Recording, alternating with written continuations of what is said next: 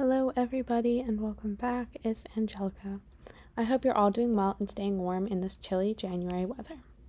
So, today's video isn't really like my other videos. Um, it's been a long time coming, and the footage that I will be showing is actually a couple of months old, most of it, anyway. Um, but today I am actually sharing my experience uh, buying some horses from a kill auction in Jorvik Stables. Um, I thought I'd put as a fair warning that I do talk a little bit about some tougher topics like kill pens or auctions and um, some abuse and neglect to horses in this video, but I don't touch on it too much, but just, you know, if that's something that would be hard to listen to, which it is, is a hard topic, um, you can just skip later into the video. Anyway, uh, I suppose I'll get into it now. Um, yeah, from my limited knowledge of auctions, and at least just the knowledge I have from my own experiences, the horses there don't tend to be too fancy. Usually Mustangs or quarter horses, occasionally a thoroughbred of some kind, but with things like the kill auctions, at least around Jorvik, they can really be anything because a lot of the time uh, the horses brought to these auctions are ones that have behavioral problems or injuries or are just horses that are unwanted anymore, and as sad as that is, it can lead to some really, really beautiful horses being in some pretty bad shape and being brought to these auctions. And it's really just quite a range. It depends on what is on the auctions page, what horses are there when you get there, what's already been bought, and when you get outbid on, but yeah. Going into this auction, I didn't expect anything fancy. I had a few horses that I'd seen on the webpage on my mind, but, you know, it really depended on what other people bid. The first horse in the ring was a beautiful Shire mare. She looked to be a Shire anyway. Um, I wasn't too sure of her breeding yet, but I did recognize her from the webpage as one of the horses I'd had my eye on. Um, she seemed to have a pretty good temper. She was relaxed, and of course, many, many people bid for her. She was a beautiful horse. Um, then she started spooking around the ring pretty bad at the noises from the crowd, and the bidding decreased significantly. Most people, when they come to these auctions, want a horse that they can use maybe as a project, train up to be better, heal to be better, but they don't want a horse that they aren't going to be able to manage. Um, but I kept bidding for her, and I was a little worried I would get outbid. There were some people who were pretty persistent despite the spooking. Uh, but eventually, I was able to be the last bidder. Auctions are a hard place to buy horses. It can be a tough decision, as especially when the horse is in the ring, it's a new environment for them. It can be pretty scary. They can act out or spook or bolt. Um, they can, in some cases, charge people. It it really depends, um, and so it makes it hard to decide on horses. It's really an instinct thing. It's a in the moment decision, split second, but um, then when I saw this mare in the ring, despite her slight aggression towards um, the auctioneer and some other things I noticed, I did bid for her.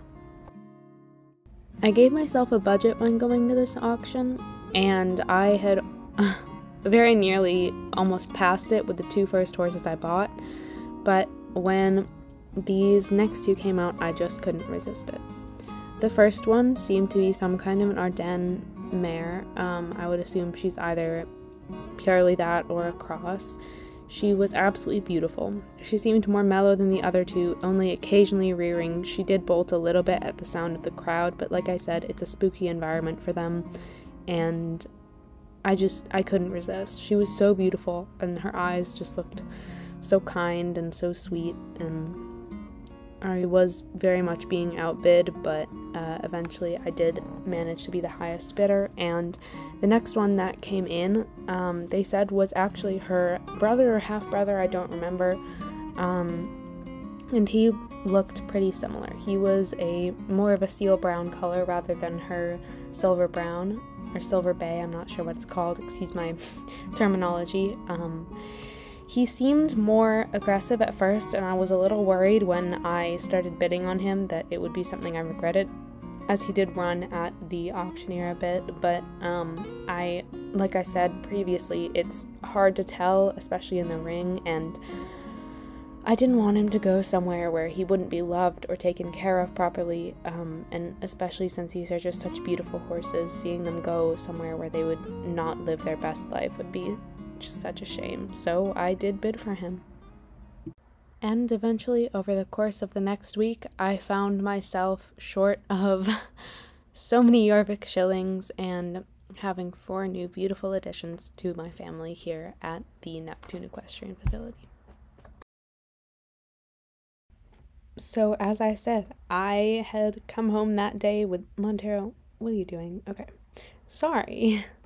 I had come home that day with four new horses. I didn't know that much of what they were like. I didn't have that many papers or nor much information from the previous owners, but I had a lot of work on my hands. Let's just say that. And I was nervous, but also pretty excited to start working with them and just to see where it all went.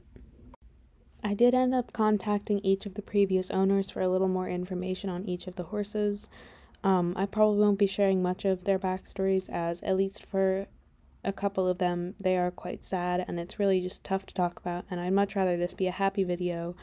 Um, so I probably won't go too deep into that, but I did find out where they came from and kind of what was going on and why they were at the auction. So, yeah.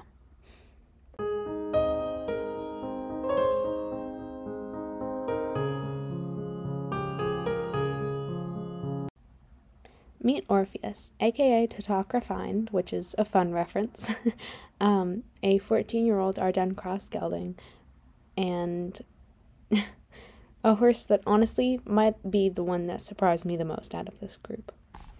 I began working with him slow at first. I was nervous judging by how he acted in the auction ring. He seemed to run at the auctioneer a lot, but as I quarantined him for the first week, he actually seemed very chill. He spent most of the time just in the pasture, grazing. He did run around a little bit, but he seemed like a really chill horse. You can see in this clip, I kind of was just carefully approaching him. I spent quite a bit of time just being in there with him before I actually approached him, and much to my surprise, he was actually really sweet and really chill. He was a little bit head shy at first, which is definitely something we can work on and not a big deal at all. Um, and I led him to the barn and began just spending more time with him. A lot of the work that I did in the beginning with Orpheus was just working on basic ground stuff. I spent a lot of time washing him, grooming him, doing cuddles, desensitizing him to things around his head, because as I mentioned, he was a bit head shy and I just took it really easy. I didn't want to rush into things. I really avoid doing that when I have auction horses unless I know them like off the bat that they're a safe horse, but that is very very unusual that that's the case.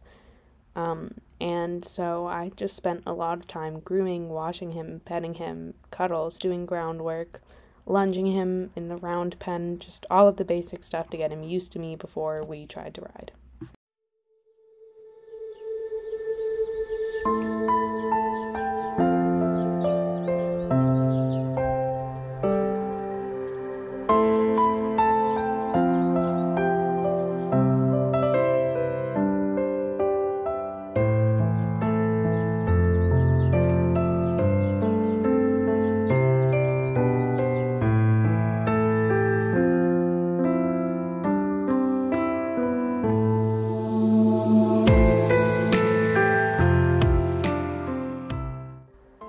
Eventually I did work up the courage to try and hop on him for the first time. I noticed immediately he kind of held himself in a more nervous way. I think he was kind of picking up on the fact that I was a little anxious, but he was definitely sort of upright the whole time. I don't really know how to describe it other than that. But he was really easygoing, to be honest. He had lovely gaits despite the chunky build. um, I just did a lot of really basic work on our first ride. I barely did any kind of jumping at all, just tiny little cross rails that I had set up in the larger arena here. Um, and I did a lot of circles, bending, getting him used to the way I ride and riding in a way that he would appreciate and that would work for him.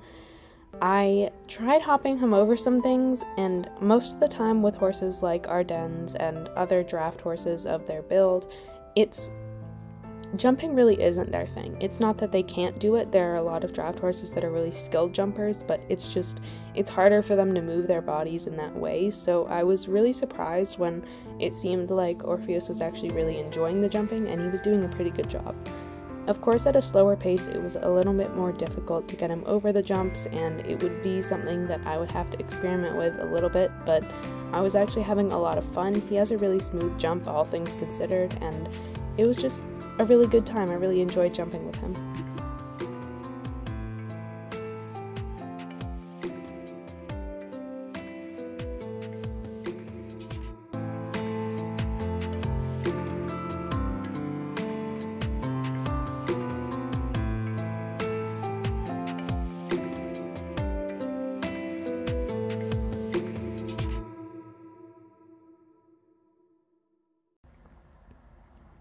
As time went on, I did find myself experimenting with him a little bit.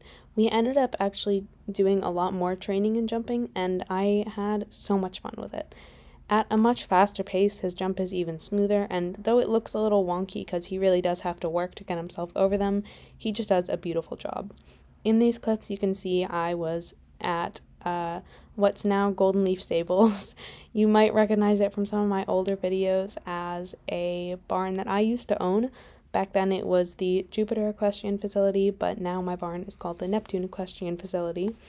Um, but you can see I'm here. They have lovely jumps here. It was a beautiful day, and I just I love the trees around there. I love that area. It holds a lot of um, sentimental value to me. So you can just see me doing things in these clips, but that's all kind of aside the point. This is about Orpheus, um, and I just had so much fun with him. He works really hard. He works really well with me. Um, sometimes he can get a little bit pushy if I use too much of my reins. Like I said, he is a little head shy, but um, eventually I was just working with him more, and I did end up taking him to a very small show in um, Silverglade. It was very local, very few people, but um, he did a beautiful, beautiful job.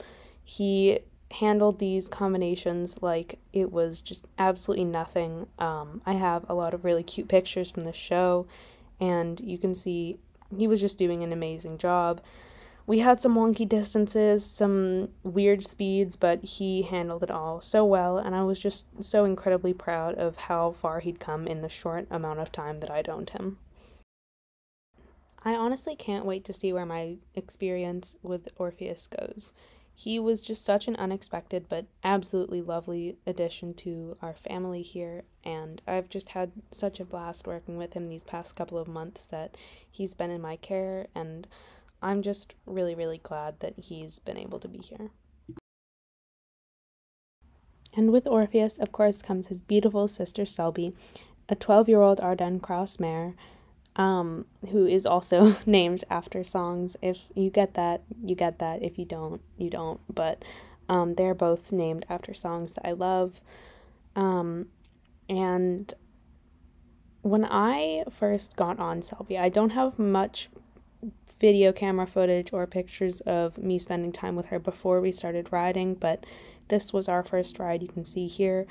Um, it was a cold, very early morning, so we didn't do much, but I took her over to this kind of like working desensitization course over by Silverglade.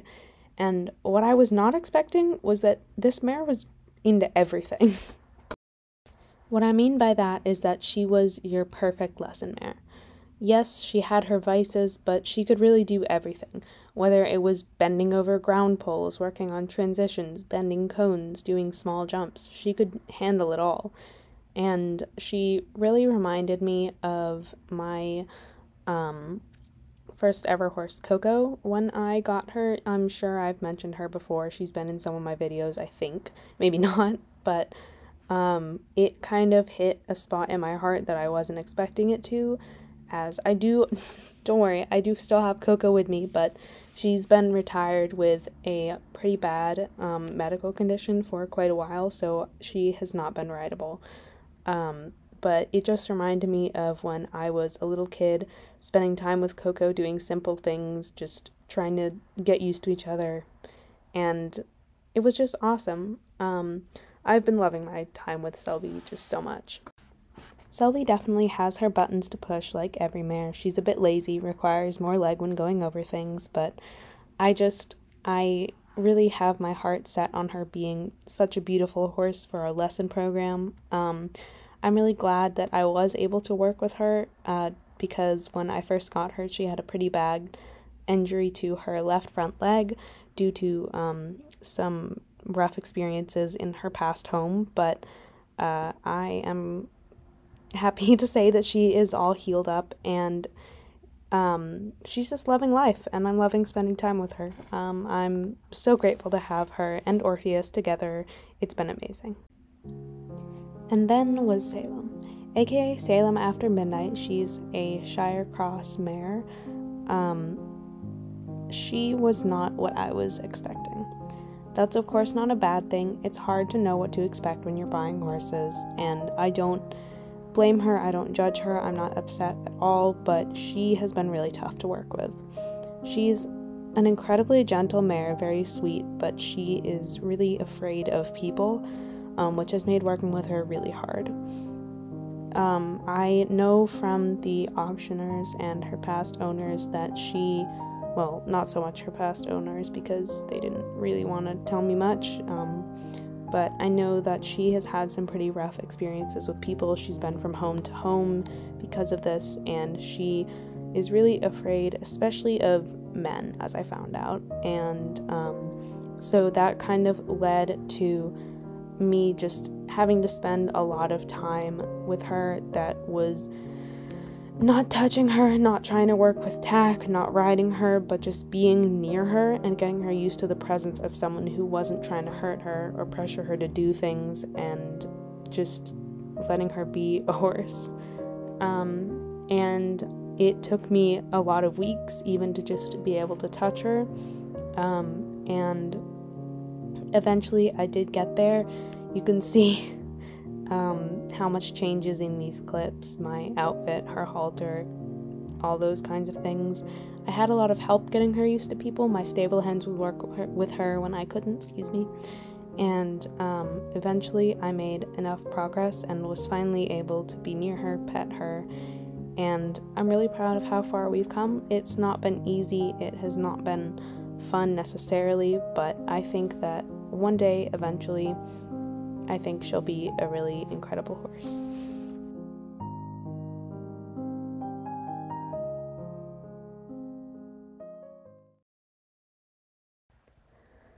And last, but so definitely not least, is tequila, aka tequila texting.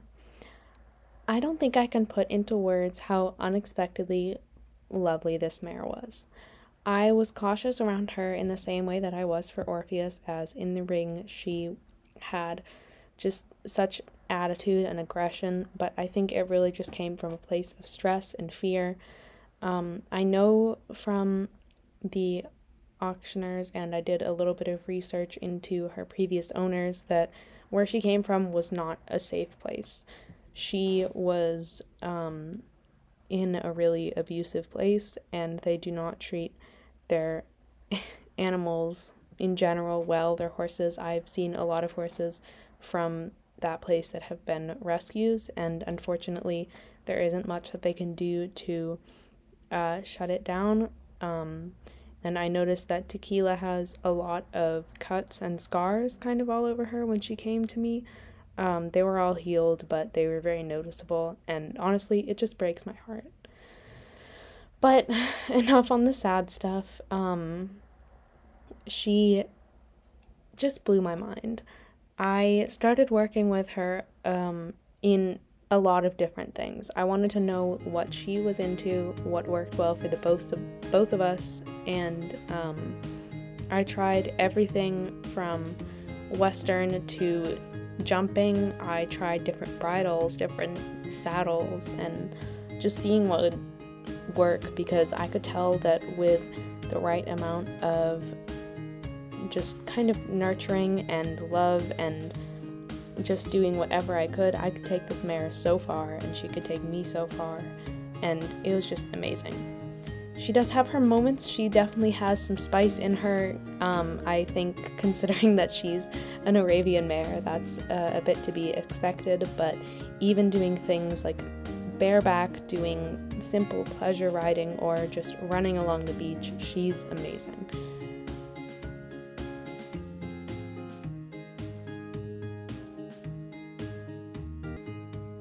It's been a while since I've bonded so quickly with a horse like this, and even just thinking about it now, it makes me so happy to think that I took a horse from a place that brought her so much fear and so much discomfort and brought her somewhere where she can thrive and be exactly the horse that she is and just not ever have to worry about being pressured or hurt or whatever may have happened to her previously.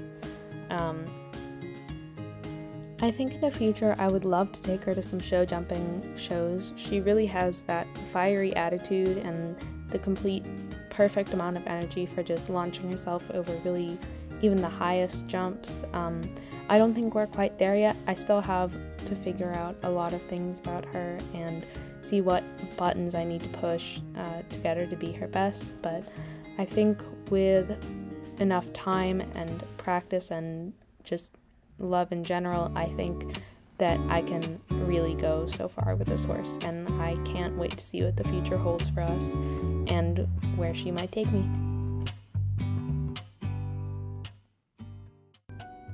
This whole experience has brought so much to me, so many different emotions, and so much to battle with.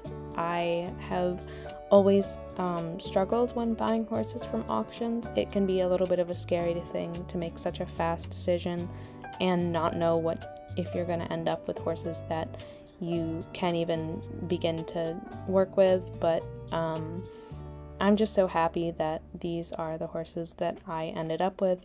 I can't wait to see where they go in the future. I don't know if this is their forever home, but I um, I'm really excited to see what the future holds. Thank you guys so much for watching this. I know this is a little different and maybe a little bit of a longer video, but I hope it was fun. Goodbye.